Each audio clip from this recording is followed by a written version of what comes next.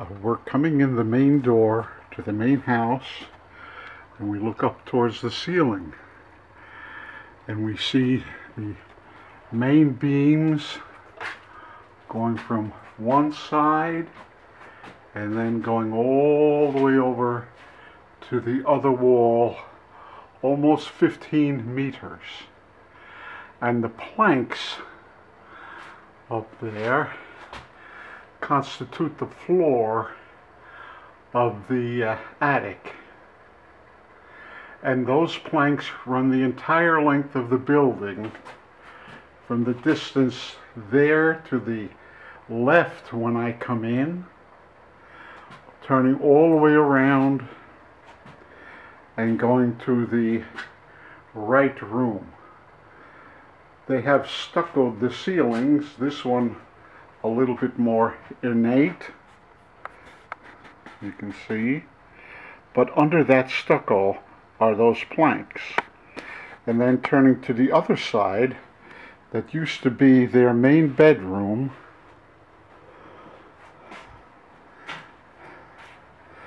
they have lowered the ceiling I guess to conserve heat and put this plaster uh, uneven plaster on the ceiling, but under that plaster are the same boards that we see here in this room.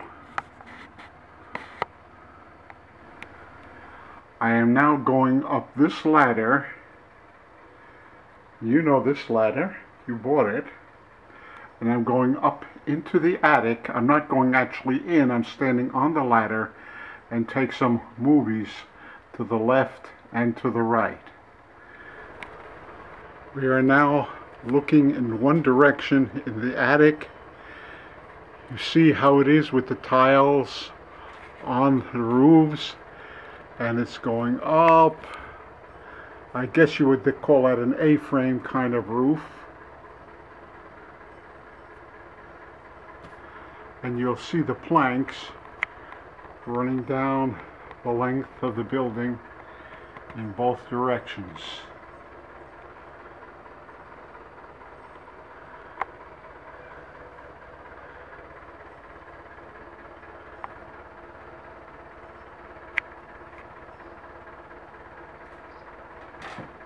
Let me see if I can get a close-up of that side. Hold on.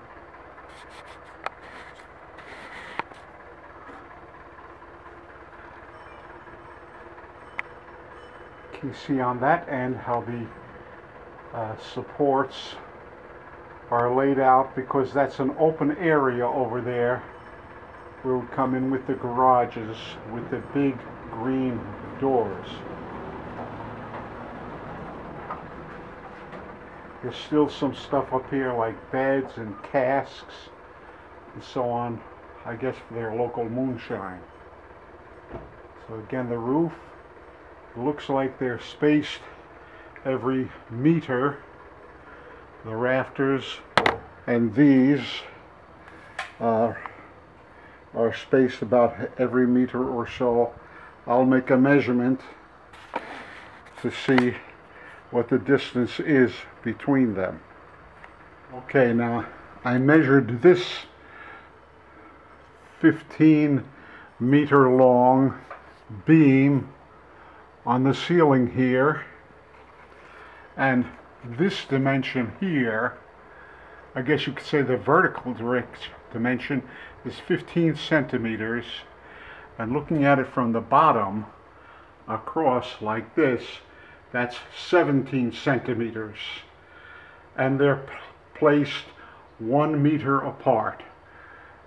And the same thing in the uh, attic the roof supports the joists are one meter apart with that center support there.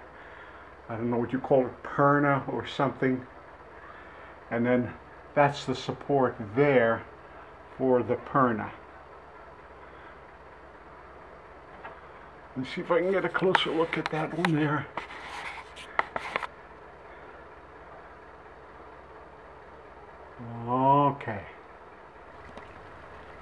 Now we're on the outside in the main entrance to the building and you see the wood supports and it's just filled in with brick between those beams there.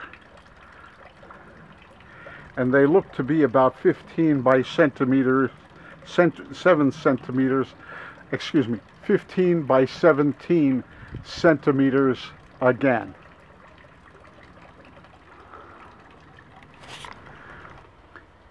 here we're looking at one end of the building.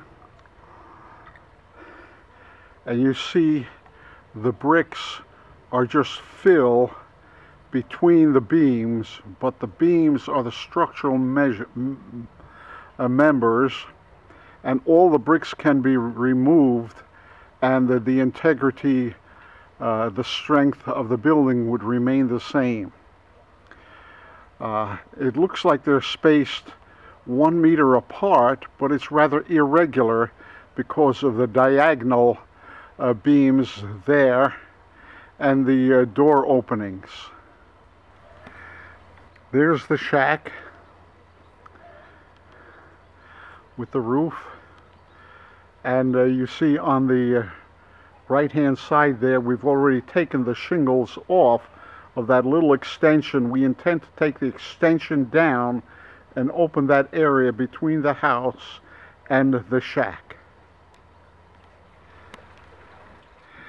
Uh, the full length of the building is uh, 20 meters, which is somewhat over 60 feet.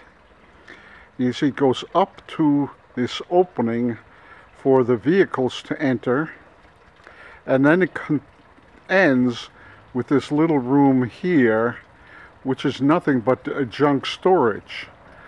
Our thought is to enclose this area here the car entrance and make it part of the interior of the house and then the wall over here the brick wall the stone wall to open that up and make a car entrance there and then this uh, lawn area here we'd erect some sort of canopy under which we would bring the cars we have enough room here to have a three or four cars, each parked, being each able to exit uh, uh, the, the uh, same opening. You can see past the chimney there to that, what I would call the left edge of the building and going down the roof line of the building to the car entrance.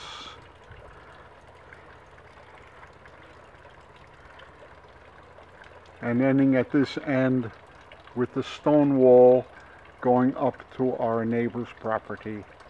That is 17 meters long, that wall.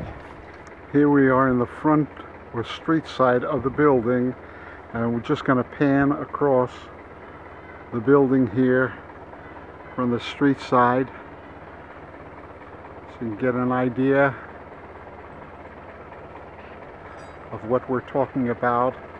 The foundation, level, strong, is what I've been told by a contractor who attends Terry Sweeney's church.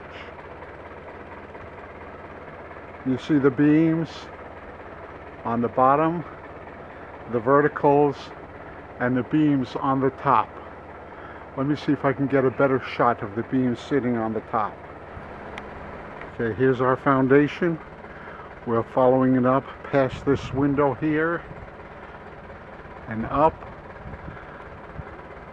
Above the window is this beam that goes all around the building at that level and then we go up into the attic area.